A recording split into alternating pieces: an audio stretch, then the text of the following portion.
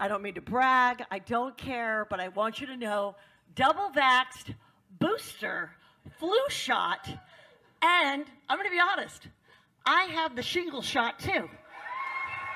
And I still get my period. What? Yes! Traveled, went to Mexico twice, did shows, meet and greets, never got COVID. Clearly, Jesus loves me the most. Seriously. So nice. So nice.